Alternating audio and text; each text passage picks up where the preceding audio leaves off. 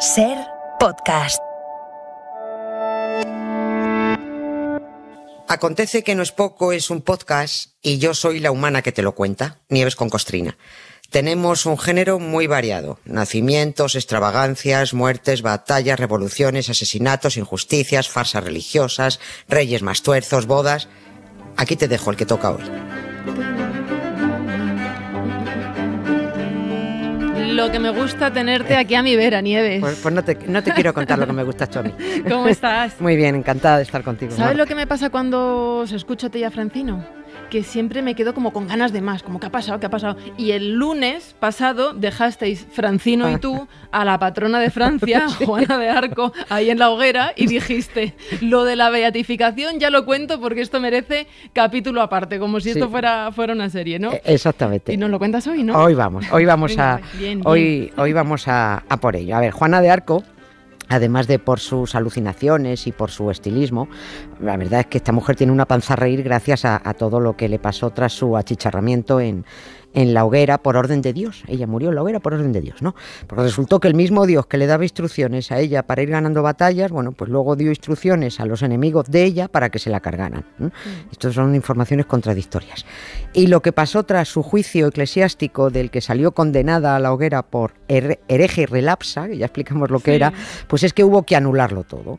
Con Juana de Arco todo era política el flipe que tenía eh, ella con eso de que hablaba con santas y dioses, pues le vino muy bien a Carlos de Orleans para deshacerse de sus enemigos borgoñones y, de los ingleses. Pero en cuanto dejó de, ser útil Juana, pues, pues nada, se deshicieron de ella. ¿no? Cuando a Carlos VII le interesó recuperar políticamente la figura de Juana, pues la rehabilitó y la declaró inocente solo 25 años después de haberla asesinado. Esto era mucho, mucho bandeo. ¿no?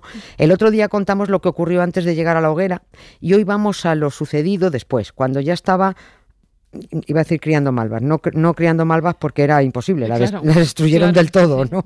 De ahí que, tuvieran que montar todo el teatrillo posterior para inventarse sus reliquias, porque una santa sin reliquias ya sabes tú que es una caca de santa, eso no, es nada, ¿no? Eh, digo que a lo que vamos es al follón que hubo con Juanita durante los 500 años siguientes a su ejecución, que fueron muy moviditos, ¿no? El mismo que la entregó para que la juzgaran y la ejecutaran, Carlos VII, el tipo por el que ella se partió la cara para sentarlo en el trono fue el mismo que 25 años después del asesinato de Juana se encargó de anular el juicio de acuerdo con el Papa. Porque en estos chanchullos sabes tú que curas y reyes siempre van juntos. De la mano.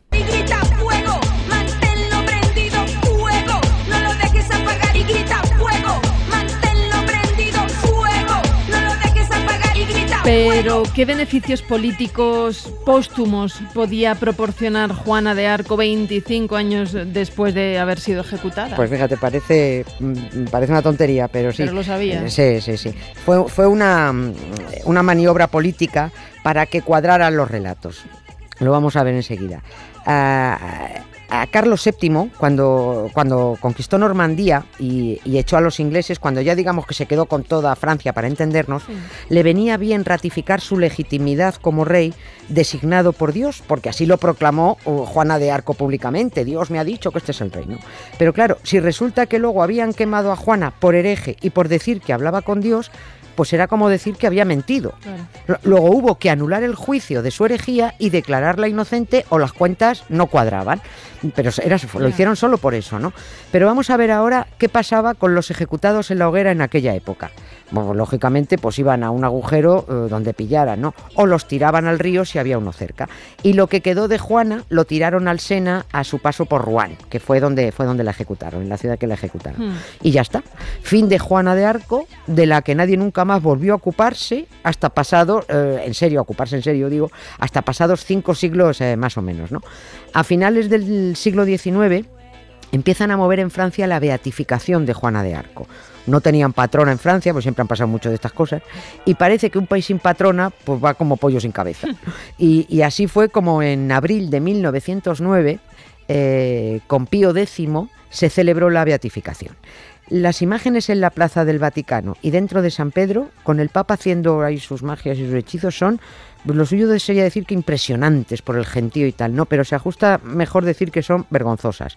Que esa misma gentuza con faldas y capelo hubiera quemado en la hoguera a una mujer a la que ahora estaban glorificando, eso para mí es gentuza. Un ya poquito está. hipócrita. Sí. Se repartieron estampitas donde ponían a Juana vestida con faldas, no con los pantalones, que era lo suyo, que era lo que, lo que llevaba, ¿no? Y, y la- eh, en esas estampitas estaba Juana en un lado y la cara del Papa al lado, ¿no? Con una leyenda que decía, bienaventurada Juana de Arco, reza por nosotros, protege a Francia. Pero eh, es que hay alguna razón para que decidieran beatificarla precisamente en ese momento, o sea, cinco siglos pasando de ella y ahora ci- cinco siglos, vamos a beatificarla. sí.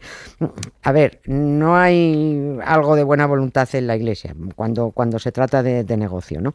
Claro que había una razón, había una ración, una ración y una razón, había much- muchas raciones de razones, ¿no? Eh, la Asamblea Nacional de Francia acababa de aprobar la separación de la Iglesia y el Estado. Mm, a la porra el concordato que les engordaba la buchaca. ¿no? Desde aquel momento, desde que se declaró esa separación Iglesia-Estado, que fue en 1905, no se reconocía ya ningún culto oficial. Quiere esto decir que se acabaron las paguitas, que, que ya a la Iglesia ya no la mantenía el Estado. Por eso los curas se movilizaron. Había que atizar la fe de los católicos para salvar lo que se pudiera del negocio. Por eso, hasta 1906, más o menos, ¿eh? no arranca el proceso de beatificación. Hasta entonces, bueno, pues apenas le hicieron caso ¿no? a, Juana. ¿no? Bueno, hubo un grupo integrista católico que se apropió de su figura en el siglo XVI, pero vamos, unos cuantos. Durante las guerras de religión fue, ¿no? Voltaire eh, se estuvo pitorreando de, Juana, iba a decir Juana la loca, política, de Juana de Arco, eh, por los flippers de esta mujer. Los revolucionarios franceses, no te puedes imaginar, pasaron de ella. A Napoleón le hizo cierta gracia Juana de Arco por su espíritu guerrero, pero en plan símbolo, ¿no? Mm. Eh, Este es el caso que se le había hecho a Juana de Arco. Eso sí, cuando llegaron los Borbones, tras la caída de Napoleón, agarraron a Juana de Arco y dijeron, esta va a ser nuestro emblema, la que legitime nuestra dinastía sagrada, ¿no? Hasta que llegó, claro, la Tercera República y la separación Iglesia-Estado. Por eso los católicos montan el teatrillo de la beatificación con reliquias incluidas. Y luego ya vino la canonización, porque no se quedó esto en beatificación, claro, y la invención de milagros. Porque sin milagros y sin huesos o riñones garrapiñados, pues no vale ser santo.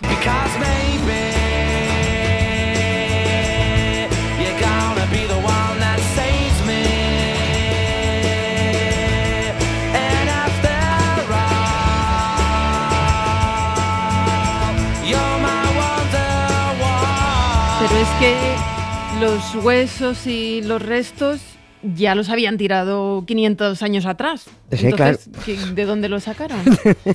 Buena, buena pregunta. ¿De dónde lo sacan estos tramposos?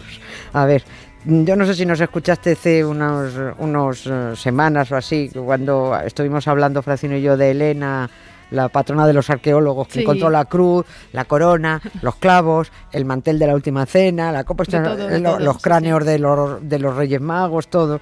Pues, pues no tienen, ellos no tienen problemas para encontrar, eh, para encontrar estas cosas. Te lo inventas y ya está, ¿no?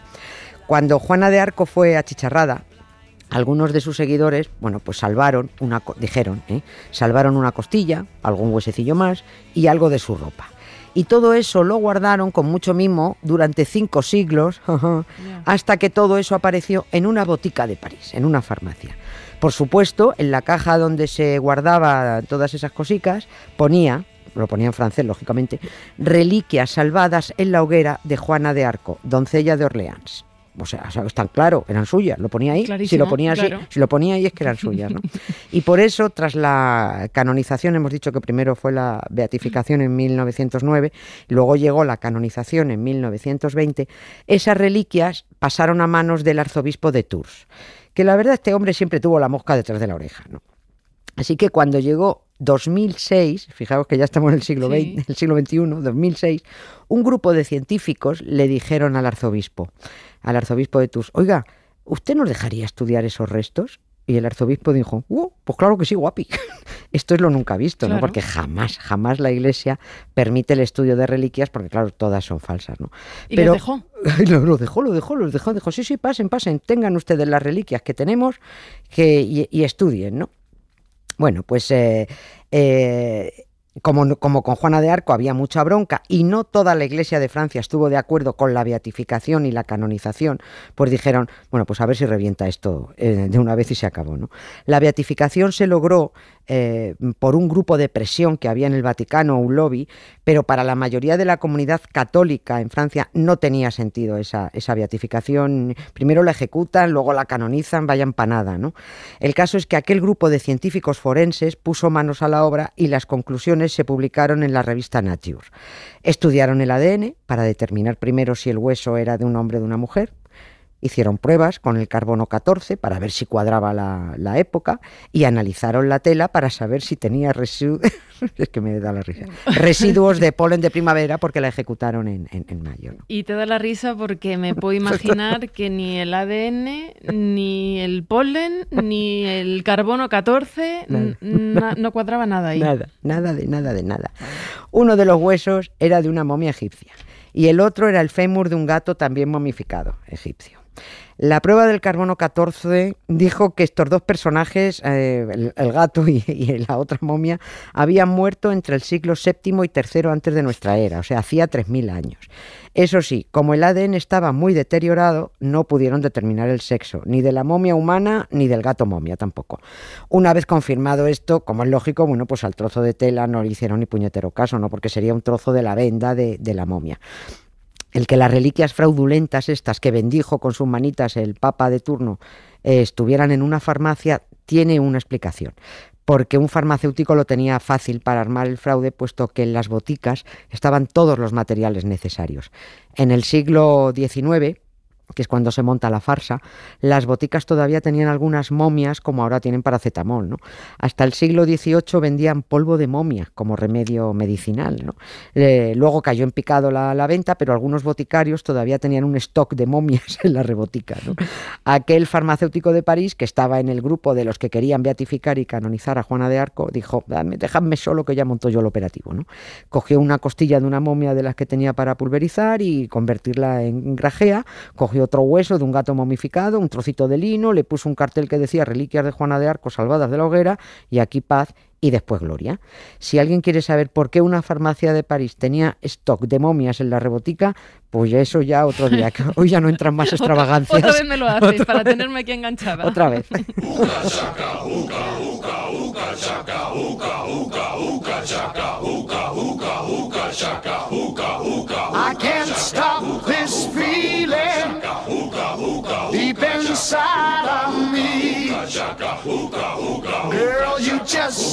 Lo que me gusta a mí escuchar tus extravagancias, Nieves con Costrina. Muchísimas gracias. Gracias a ti, Marta. Suscríbete Acontece que no es poco. Todos los episodios y contenidos adicionales en la app de Cadena Ser y en nuestros canales de Apple Podcast, Spotify, iBox, Google Podcast y YouTube. Escúchanos en directo en la Ser de lunes a jueves a las 7 de la tarde. Cadena Ser. La radio.